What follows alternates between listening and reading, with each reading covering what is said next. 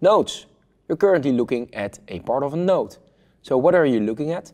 This is a Raspberry Pi 4. You perhaps recognize it more from this side.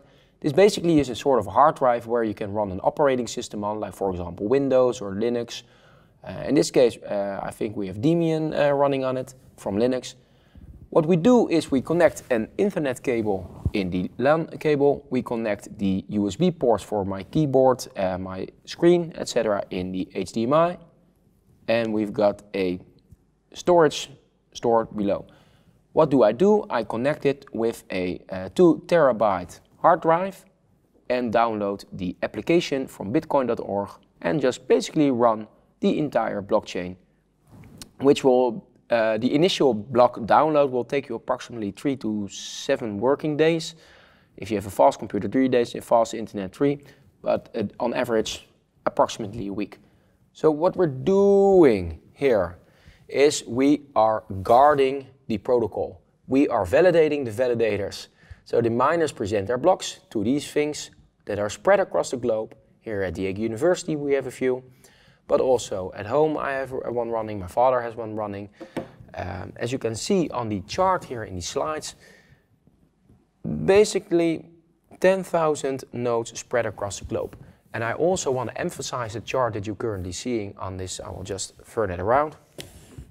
What you're seeing here, I don't know if this is very uh, clear. But what you're seeing here is that there's a lot of concentration in the Western known countries, which of course seems logical because Western uh, countries are always the, or are always, are currently the countries innovating. Uh, a few thousand years ago, it used to be this region, the Middle East and the Chinese region. Now it's these regions. But the problems here, you can see, are South America has no nodes, Africa has no nodes. The Middle East has no nodes. These parts of Russia, and China have no nodes. So the problem here is this is the new economical infrastructure being built in an unfair way. You see that most likely these countries, if they don't adapt, are once again missing this boat. So here in this scenario, and that's the, uh, one of the main reasons why we're also uh, offering these types of education in a full open source environment. We want to spread all these dots equally distributed across the globe. Otherwise, you will have insanely new problems if you have new applications uh, and new economical infrastructures that is built one-sided as this, you will have more uh, unfair wealth distribution, which eventually turns up bad for everybody because you will have uh, migration flows, you will have, uh, well, I think we can, you know where it, where it can lead to if you have unfair wealth distribution. So my call out, of course, uh, maybe interesting is we're working together with Ghana, which is here in the center of Africa.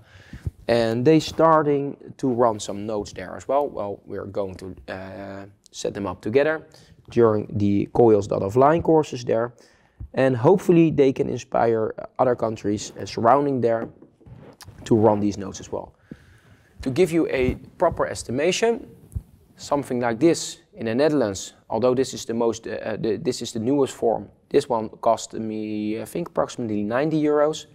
But an older version, which works perfectly fine, costs uh, 30 euros.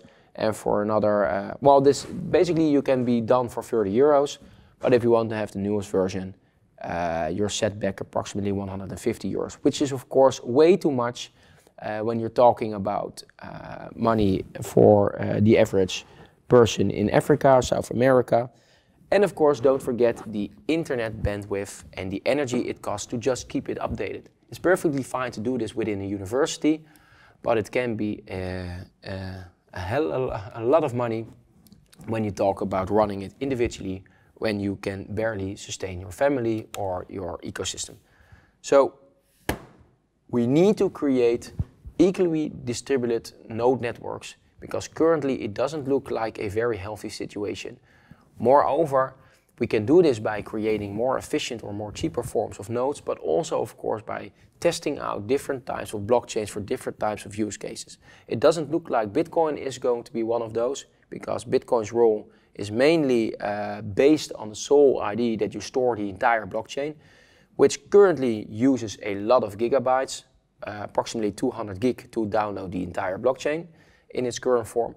But of course, there is a basic idea, I think it's called Moore's Law, Moore's Law that every time um, an upgrade of a hard drive, it, the, the upgrade is exponentially. So in other words, um, the blockchain keeps getting bigger and bigger, but the storage capacity of these things grows faster, eventually uh, making it more cheaper and more accessible for multiple people to run nodes, perhaps even in the future on your phone.